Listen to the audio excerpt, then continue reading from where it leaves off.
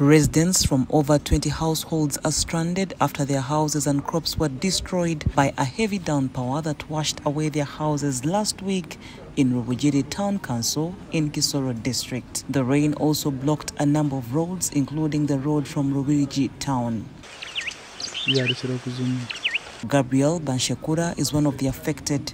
His house was destroyed by landslides and he's stuck on where to relocate with his family of five children. Banshekura and other affected residents have called for support from government and well wishers. gaturamo hino hino mujo ndaturamo nawe na n'abahara babiri abojo ni ni ba- ni babiri I currently stay with four children in this house and now it was destroyed.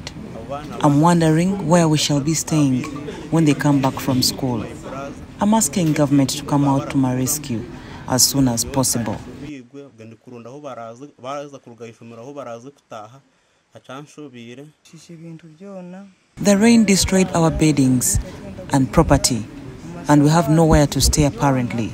My family sleeps in this small kitchen, and other children have been sent to the neighborhood for shelter. Following the disaster, residents of Nyabaremura have received relief items from well wishers. Leaders have welcomed the move but also called for government support to the families whose property was destroyed.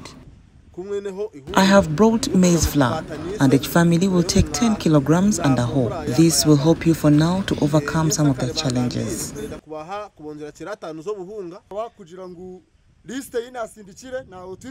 We appreciate Tree Agenda for coming to our rescue during this trying time.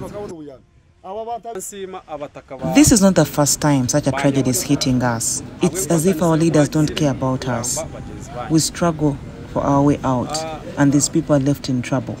We understand there is a Ministry of Disaster Preparedness, but its visibility in our problems is never realized, despite our endless efforts to reach out to them.